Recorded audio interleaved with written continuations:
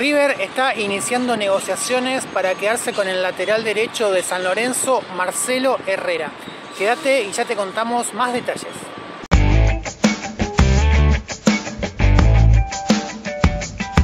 Hola amigos y amigas del canal Reporte Fútbol 2, contarles que tras haberse caído el plan A de Marcelo Gallardo por Fabricio Bustos como lateral derecho, ahora va la carga por Marcelo Herrera, jugador que tiene muy buena marca en el ciclón, también tiene muy buen juego aéreo, pero lo principal que le gusta a Gallardo es la proyección que tiene por la banda, cómo llega al área rival eh, y también cómo aporta goles. En San Lorenzo jugó aproximadamente 61 partidos, convirtió 5 goles y dio 3 asistencias.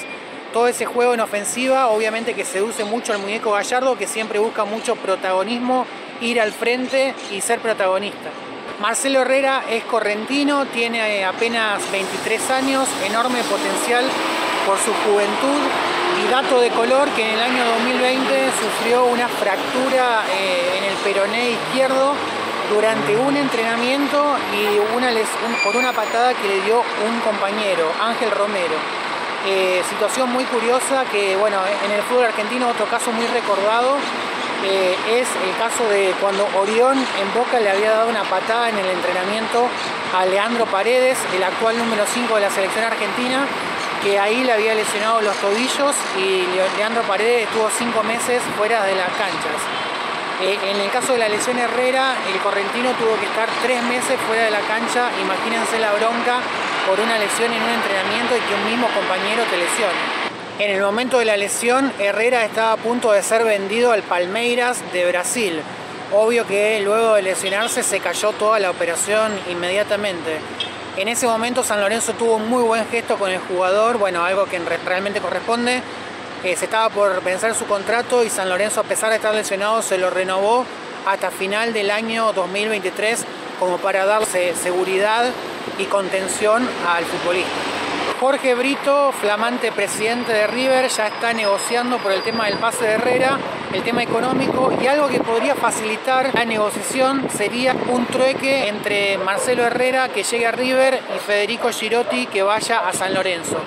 Obviamente habría que ver si hay alguna diferencia económica, ¿no? Pero bueno, el cuervo está muy interesado en un delantero para reemplazar a Franco Di Santo que se fue en los últimos meses. Lo llamativo es que San Lorenzo pide 3 millones y medio de dólares por Marcelo Herrera, que es el plan B de River, y Fabricio Bustos, Independiente, pedía 2 millones de dólares.